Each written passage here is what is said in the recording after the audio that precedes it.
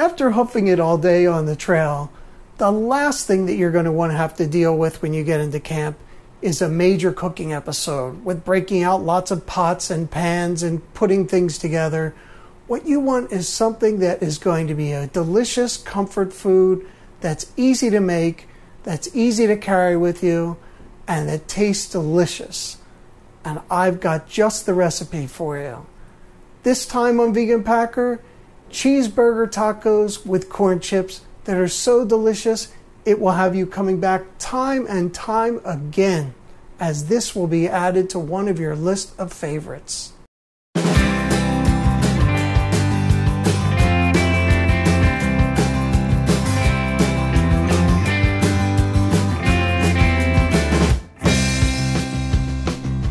Here's the list of equipment and ingredients that you're going to need to make this delicious meal. For this project, in addition to standard kitchen equipment, we'll need a food processor or an even better choice would be a Vitamix equipped with the dry bin that's used for milling grain. We'll also need a dehydrator and a good idea to have for this project is also going to be some type of kitchen scale to use for portioning. As in previous projects, I've started by taking this can of coconut milk and I've placed it in the refrigerator for about 8 to 12 hours before starting. That way I can open the can, scoop the cream off of the top, and drain the liquid and dispose of that. And the cream is what we'll be using for this project. To make about 5 to 6 servings of this dish, we're going to need some tortillas, 3.5 tablespoons plus 1 teaspoon of Bragg's liquid aminos and I suggest using this actual brand instead of just generic soy sauce because it imparts a much better flavor on the final dish. One teaspoon of oregano, a quarter teaspoon of hickory flavored liquid smoke, about a half cup more or less to taste of corn chips, two tablespoons of coconut cream, one cup of texturized vegetable protein, otherwise known as TVP, one ounce of vegan cheese sauce. I'm using the Nacheez brand in the mild flavor, and five cups of water. Start by adding the TVP, the water,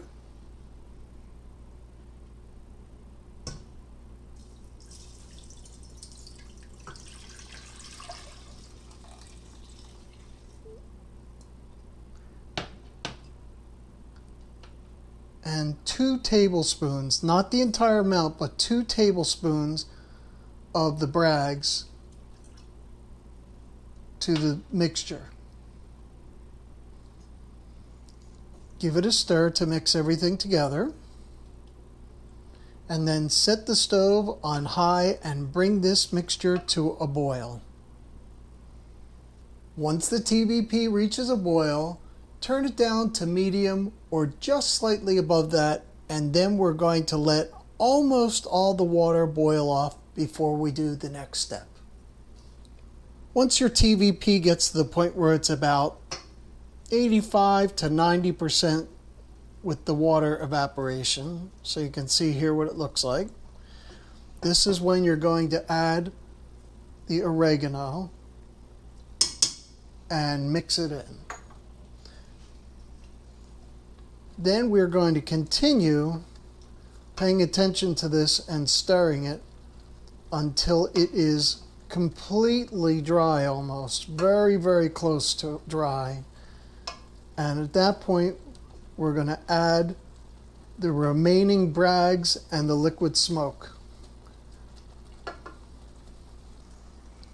Now that we've gotten to a point where you can see there really anytime I move the TVP there's no water really clinging behind in the bottom of the pan.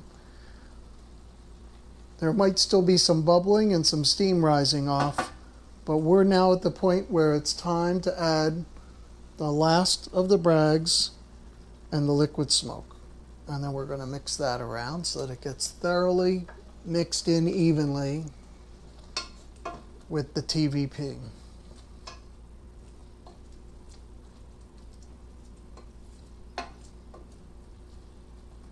And now we're going to really let the water boil off to the point where it is very dry and you'll see it'll start to stick to the bottom of the pan and there'll be almost no bubbling or anything because there won't be any water left and that's going to be when we're going to add the coconut cream.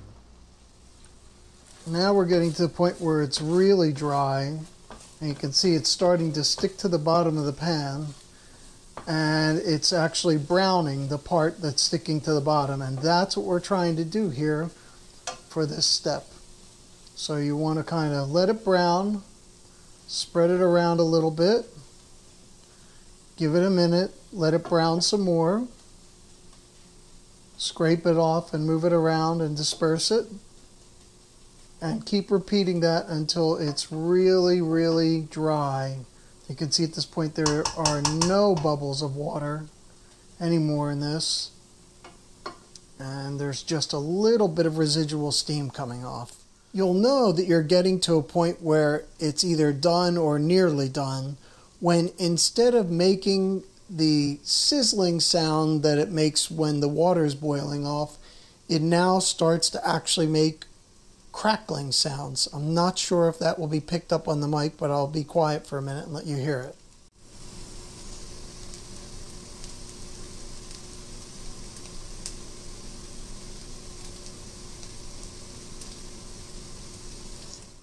So that sizzling sound that's now crackling and the fact that it's getting much harder to scrape it off of the bottom of the pan tells me that this is really getting here.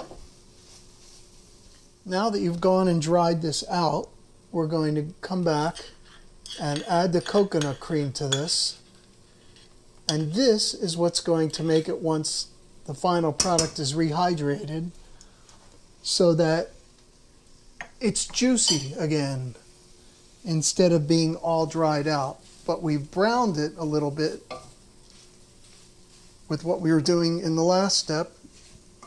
And now we're adding back some succulent juices that will pick up the flavor from that coconut cream, absorbing from the flavor in the TVP. And then this way the final product won't be all dry and hard when you rehydrate it in the field. And I will say that this is done.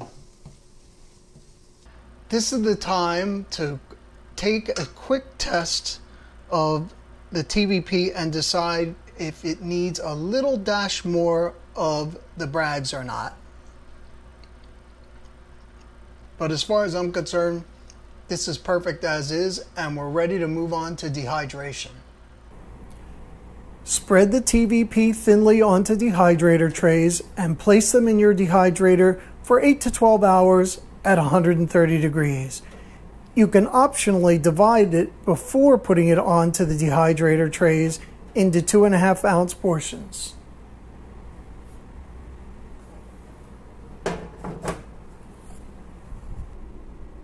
Once the TVP is dehydrated, it's going to come out of the dehydrator in clumps that are stuck together, and the edges can be kind of sharp.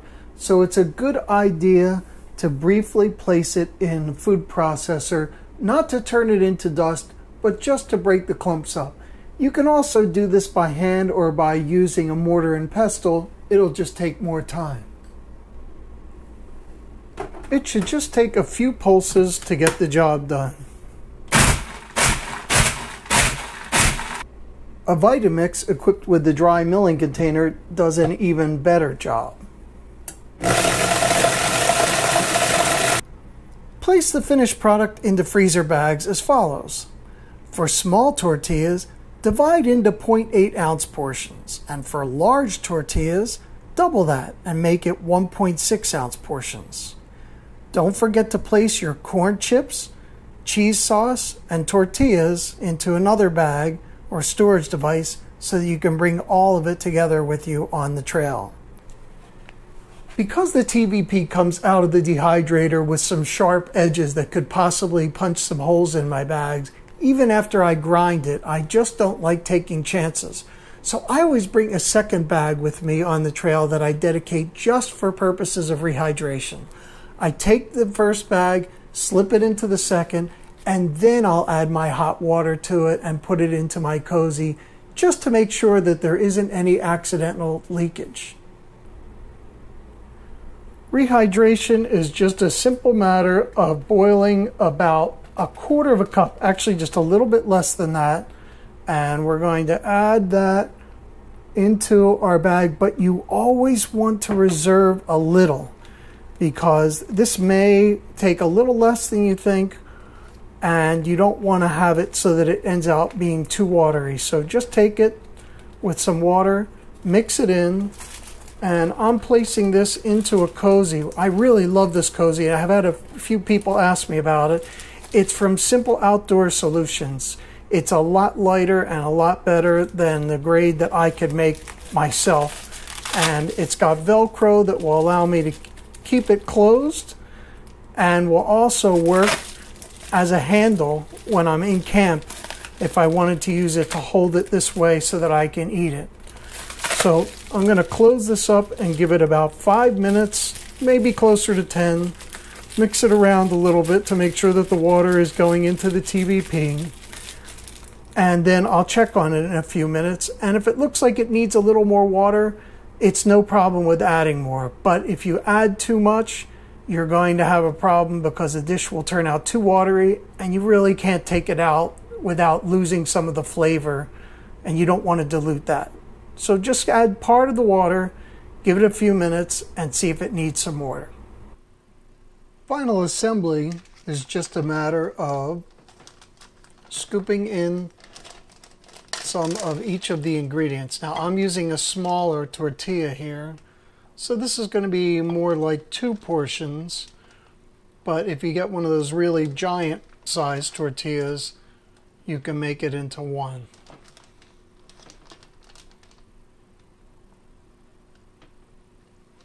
So I'm going to add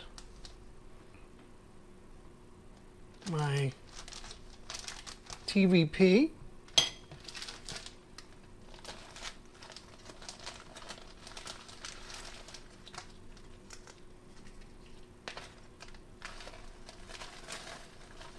Add some of the corn chips.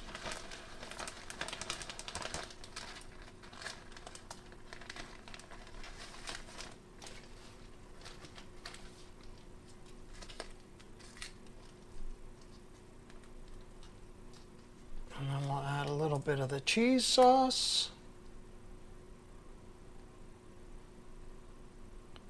And this is starting to look good.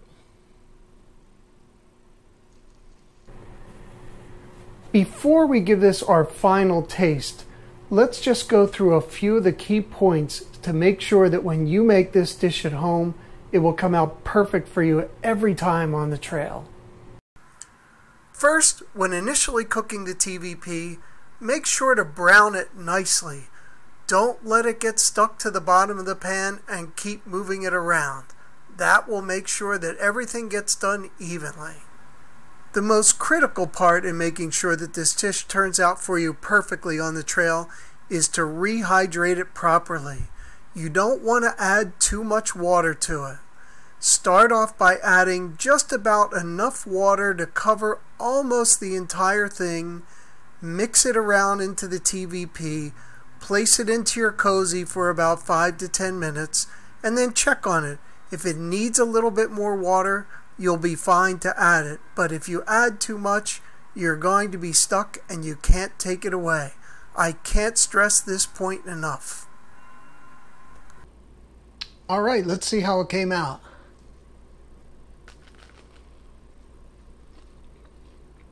Mmm.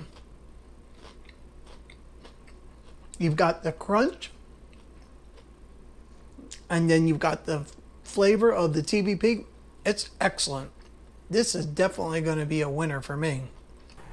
And I'll bet that it'll soon become a favorite of yours too. Hey, if you've enjoyed watching this and other videos in this series, please take a second to click on the box in the upper left hand corner when we sign off and subscribe so that you won't miss out on future videos. See you next time.